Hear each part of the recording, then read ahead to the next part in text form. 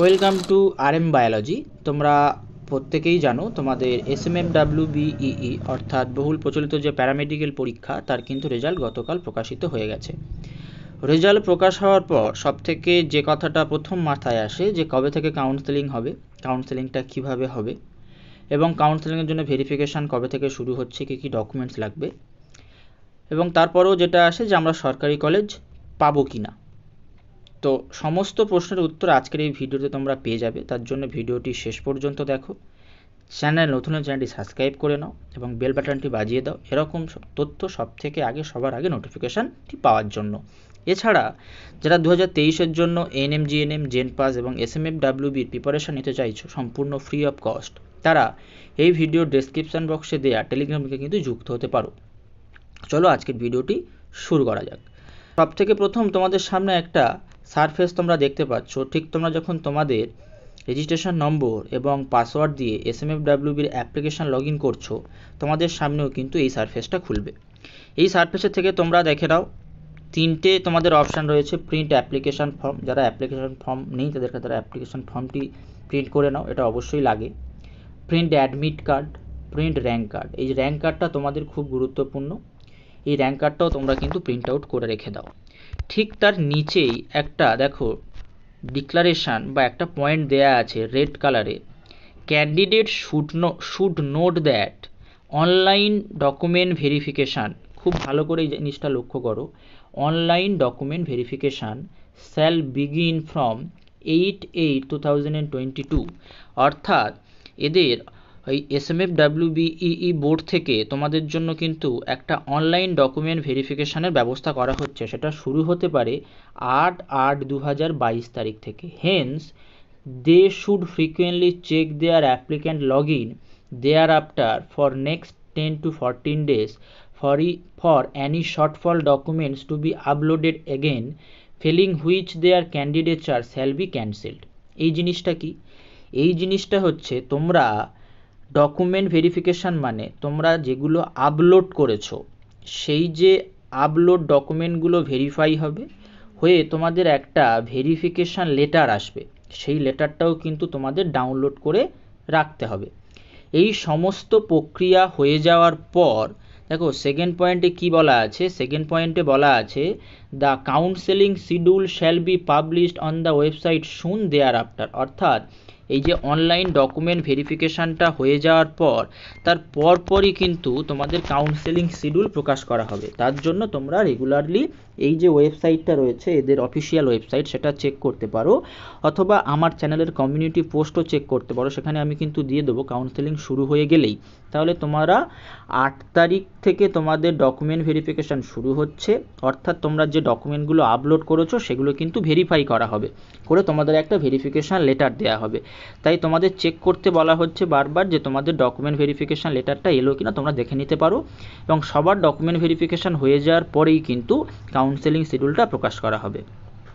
এরপরে আমরা দেখে নেব যে ভেরিফিকেশানের সময়, অর্থাৎ যারা কাউন্সেলিং করেছ কাউন্সেলিংয়ে যারা অংশগ্রহণ করবে, তারা সিট পাবে, তাদের জন্য ভেরিফিকেশানে কী কী লাগবে দেখো list of document required for verification the candidates at the time count time of counselling must keep the following original certificates or documents or testimonials along with two sets of duly attested photocopies of this with them.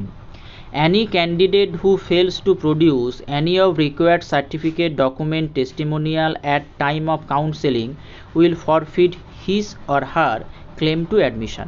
অর্থাৎ document ভেরিফিকেশনের সময় তোমরা যদি কোনো certificate যেটা চা হচ্ছে সেটা দিতে না পারো, তাহলে কিন্তু তোমাদের ক্যান্ডিডেচারটা বাতিল হবে অথবা তোমাদের অ্যাডমিশনটাও ক্যান্সেল হতে পারে।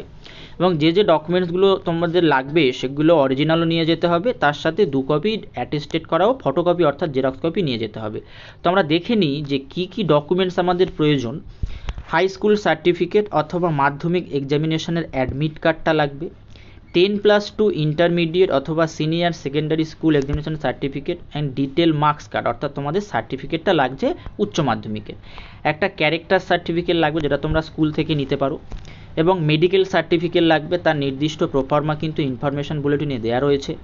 কাস্ট সার্টিফিকেট লাগবে অথরাইজেশন সার্টিফিকেট লাগবে, সেটা কখন লাগবে? If the candidates fail to appear in the verification centre যদি সে ভেরিফিকেশান সেন্টারে অ্যাপিয়ার হতে ফেল করে, তখন তার কিন্তু একটা অথরাইজেশন সার্টিফিকেটের অবশ্যই লাগবে। Two recent passport size photograph লাগবে এবং যারা ফিজিক্যাল হ্যান্ডিক্যাপ তারা যে রেকগনাইজ যে কোনো মেডিকেল বোর্ড থেকে তার ফিজিক্যাল হ্যান্ডিক্যাপের সার্টিফিকেটটি করিয়ে আনতে পারে এবং র্যাঙ্কার লাগবে। এই নটা ডকুমেন্টস তোমরা এখন থেকে রেডি করে রাখো। ছ নম্বরটা তোমাদের সবার জন্য নয়, যারা ভেরিফিকেশান সেন্টারে যেতে পারবে না, তাদের জন্য কিন্তু এটা অবশ্যই অবশ্যই লাগবে। তাহলে তোমাদের যেই নটা ডকুমেন্টসের মধ্যে আটটা ডকুমেন্টস তোমাদের লাগছে এবং যারা ফিজিক্যাল হ্যান্ডিক্যাপ তাদের জন্য শুধুমাত্র আট নম্বর ডকুমেন্টটা এবং যাদের কাস্ট আছে, অর্থাৎ OBC A OBC B EWS ST SC তাদের জন্য কিন্তু কাস্ট সার্টিফিকেটটাও লাগছে। তো এই ডকুমেন্টসগুলো তোমরা এখন থেকে রেডি করো এবং অবশ্যই তোমাদের অ্যাপ্লিক্যান্ট লগ ইন করতে থাকো ফ্রিকুয়েন্টলি আট তারিখের পর থেকে, যে তোমাদের ডকুমেন্ট ভেরিফিকেশানটা হয়ে গেল কিনা এবং তুমি ভেরিফিকেশান লেটারটা পেলে কিনা। তো এবারে আমরা দেখে নেব যে কাট অফটা কেমন কি থাকতে পারে। দেখো, এখন যে কাট অফটা তোমাদের বলছি, সেটা কিন্তু গভর্নমেন্ট হিসেবে বলছি। তার কারণ এখনও পর্যন্ত যে সিট ম্যাট্রিক্স প্রকাশিত হয়েছে, সেখানে শুধুমাত্র গভর্নমেন্ট কলেজগুলো দেয়া আছে এবং সিট সংখ্যা টোটাল দেয়া আছে কত? চোদ্দোশো পাঁচ। চোদ্দোশো পাঁচটা সিট রয়েছে। তার মধ্যে জেনারেল ক্যান্ডিডেটদের সিট রয়েছে ছশো সাতানব্বইটা। এটা আছে জেনারেল ক্যান্ডিডেটদের জন্য। এসসির জন্য রয়েছে তিনশো চোদ্দোটি সিট, তিনশো চোদ্দোটি সিট রয়েছে এসসিদের। তারপরে এসটিদের আছে একশো সাতচল্লিশটি মোটো সিট। ওবিসি এর জন্য রয়েছে একশো পঁয়ত্রিশটি সিট। এবং ওবিসি বি তাদের রয়েছে নব্বইটি সিট এবং ফিজিক্যাল হ্যান্ডিক্যাপের কিছু সিট আছে। তো সব সিট মিলিয়ে মোটামুটি চোদ্দোশো পাঁচটা সিট তোমাদের জন্য আছে। তোমাদের যারা র্যাঙ্ক কার্ড পেয়ে গেছো, প্রত্যেকে দেখবে যারা জেনারেল ক্যান্ডিডেট তাদের একটাই র্যাঙ্ক দেয়া রয়েছে। সেই র্যাঙ্কটা হচ্ছে, সেটাকে বলা হচ্ছে সিএমএল র্যাঙ্ক এই সিএমএল র্যাঙ্কটাই হচ্ছে তোমাদের কি? জিএমআর র্যাঙ্ক এই জিএমআর বা সিএমএল র্যাঙ্ক হিসাবেই তোমাদের কিন্তু কাউন্সেলিংটা হবে। এবং যাদের ক্যাটাগরি আছে, তাদের একটা সেপারেটলি ক্যাটাগরি র্যাঙ্ক কিন্তু দেয়া হয়েছে। সেটা এক শুধুমাত্র ইনফরমেটিভ যে ক্যাটাগরি এতজন ক্যাটাগরি স্টুডেন্ট ছিল তার মধ্যে তুমি এত র্যাঙ্ক করেছ।